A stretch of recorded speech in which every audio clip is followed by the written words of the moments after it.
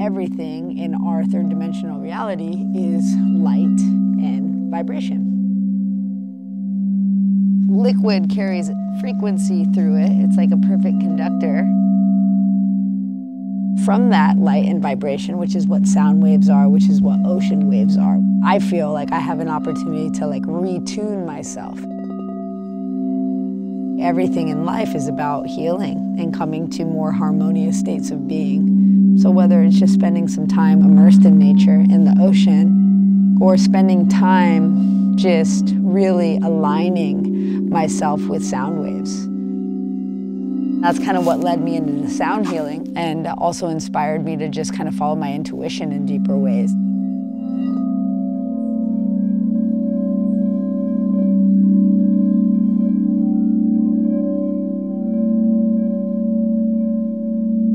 With everything I do, with the sound, with the surfing, with these tinctures that I like to make, it's just nice to share this with people that you love and care about. Tinctures are really awesome. I made this with some of the uh, Madre Mezcal. It has like chamomile and rose and Damiana.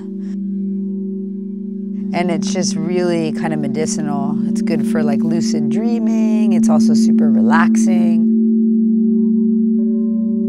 The energy of these beautiful plants in here, it's all just like sound frequencies, energy waves, and, and light